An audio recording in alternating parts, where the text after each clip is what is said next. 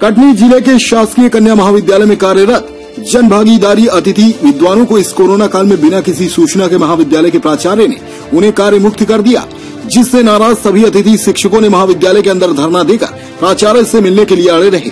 अतिथि जन भागीदारी विद्वानों के शिक्षक ने बताया कि वे सभी शासकीय कन्या महाविद्यालय में अतिथि के रूप में काम कर रहे थे और कोरोना काल में सभी कॉलेज बंद थे और उनके जीवन व्यापन के लिए सिर्फ़ यही जॉब थी।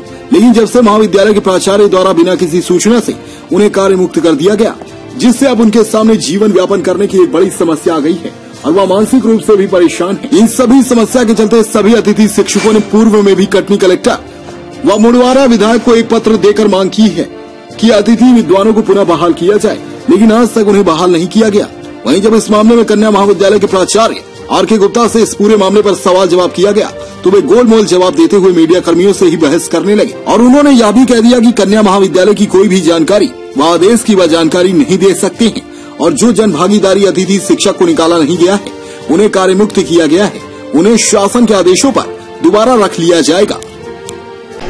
आज आप लोगों ने ये जो कॉलेज के अंदर धरना दे दिया है, क्या कारण है और आप लोग हम शासकीय कन्या महाविद्यालय में स्वित्तीय जन भागीदारी योजना के अंतर्गत अतिथि विद्वान हैं, जिन्हें बिना किसी पूर्व सूचना के कार्य मुक्त कर दिया गया है। इसी का जवाब मानने के लिए हम अपने माननीय प्राचार्य जी के पास में आए हैं, जिसके लिए उनका कहना यह है कि अब आप लोगों ने जब ऊपर निवेदन कर दिया है तो ऊपर से ही आप लोगों को जवाब प्राप्त होगा। जबकि ऐसा नहीं है, हमें पिछले शुक्रवार को व्हाट्सएप के द्वारा ये सूचना दी गई थी कि हम लोगों को कार्य मुक्त कर दिया गया है और उसके तुरंत बाद ही हम में से कुछ प्रतिनिधि यहाँ आए थे और उन्होंने प्राचार्य से बात की थी। तभी भी प्राचार्य जी ने कोई संतोषजनक उत्तर नहीं दिया था। तब हमने उनके ऊपर निवेदन किया है। तो और दूसरी बात ये कहना चाहते हैं कि अभी हम लोग को ये कह के कार्य मुक्त किया गया कि कार्य नहीं है, जबकि कल से आरडीबीवी की परीक्षाएँ शुरू होने वाली है। ओपन बुक पद्धति के अनुसार तो पिछले साल हम लोगों ने सबने अपनी सुविधा यहाँ पे दी थी जब कोरोना काल था। इतना रिस्क था, उसके बावजूद हम लोगों ने बराबर यहाँ पर आकर अपना काम किया और इस बार हम लोगों को कार्य मुक्त कर दिया गया है, जबकि मध्य प्रदेश में किसी भी अन्य कॉलेज में इस प्रकार से जन भागीदारी अतिथि विद्वानों को नहीं निकाला गया है। एक और जहाँ हमारे प्रधानमंत्री, माननीय प्रधानमंत्री जी, मुख्यमंत्री जी ये कह रहे हैं कि हमें आत्मनिर्भर बनना है, उसी कोरोना काल में हमें इस तरीके से निकाल कर हमें आर्थिक और मानसिक रूप से प्रताड़ित किया जा रहा है। ये कितनी कितनी वर्षों से आप यहाँ हैं? मैं यहाँ पर पाँच वर्षों से हूँ कोई दस साल से है कोई ग्यारह साल से है। हम लोग निरंतर अपनी सेवाएँ दे रहे हैं। हम लोग?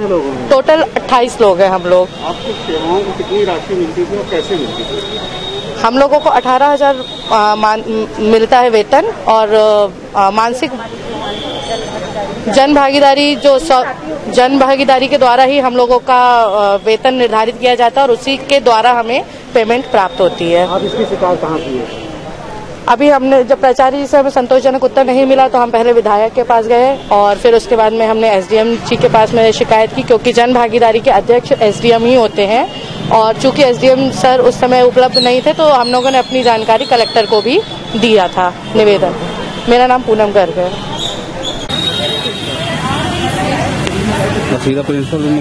ये है सर, हम शासकीय कन्या महाविद्यालय में सवित्त योजना अतिथि विद्वान के अंतर्गत कार्य करते हैं और हमें बिना जानकारी के कार्य मुक्त कर दिया गया।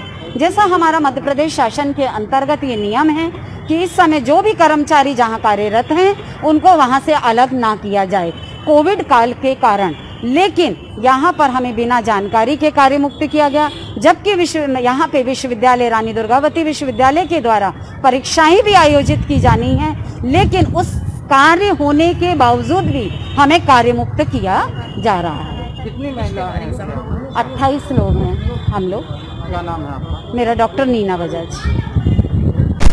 करना हमारा लाइबिलिटी है लेकिन हर प्रश्न का उत्तर देना हमारे आपको अनिवार्य नहीं समझ सर प्रिंसिपल है आप कॉलेज के ठीक है ना? देना पड़ेगा। ठीक है देना पड़ेगा तो वो पॉलिसी मैटर है पॉलिसी मैटर तो आप ये बताइए क्या मैटर है? जी? बताना पड़ेगा ना? बता तो रहे हैं हम। बताइए। ठीक है कई वर्षों से उनको जितने सालों से काम करे तो प्रत्येक वर्ष निकाला जाता है। उनको कुछ दिन के लिए ब्रेक दिया जाता है। ब्रेक दिया गया है। ब्रेक कितने दिन का ब्रेक दिया गया है? ब्रेक अब पिछले कई वर्षों से पैंता फोर्टी फाइव डेज़ का ब्रेक दिया जाता है। इस वर्ष तो फोर्टी फाइव डेज़ का नहीं दिया गया है।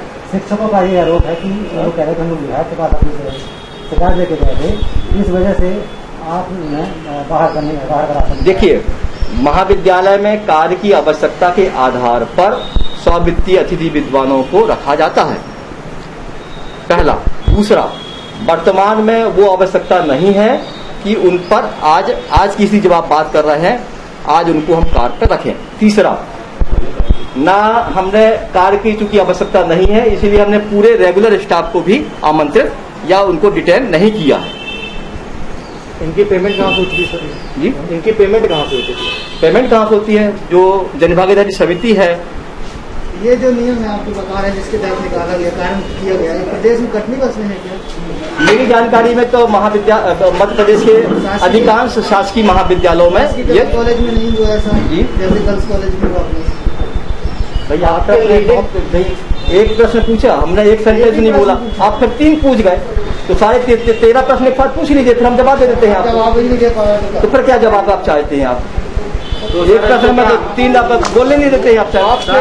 आपके यहाँ निकाला गया कार्य मुक्त किया मैंने आपसे कहा किसी को निकाला सर्विस से ब्रेक नहीं किया गया है। कार्य मुक्त किया गया है। तो क्या इसका लीडिंग कॉलेज में भी कार्य मुक्त किया गया होगा ऐसे नहीं लीड कॉलेज की कमेटी अलग है यहाँ की कमेटी अलग है।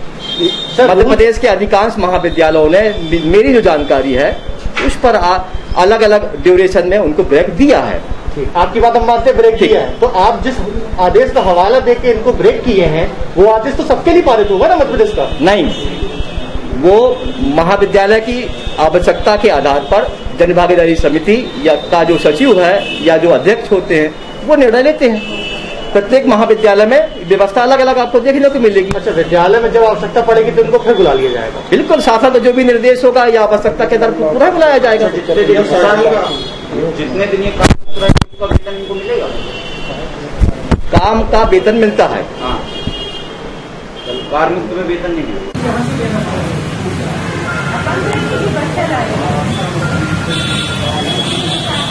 अपने आसपास की हर छोटी बड़ी खबर देखने के लिए हमारे चैनल पुलिस ब्यूरो न्यूज़ को बेल आइकन दबाकर सब्सक्राइब करें, जिससे आपको हर खबर समय से मिलती रहे। अधिक जानकारी के लिए हमसे संपर्क करें। हमारे कॉन्टैक्ट नंबर है nine zero three nine zero one one eight eight six एवं nine seven seven zero two two nine nine nine nine.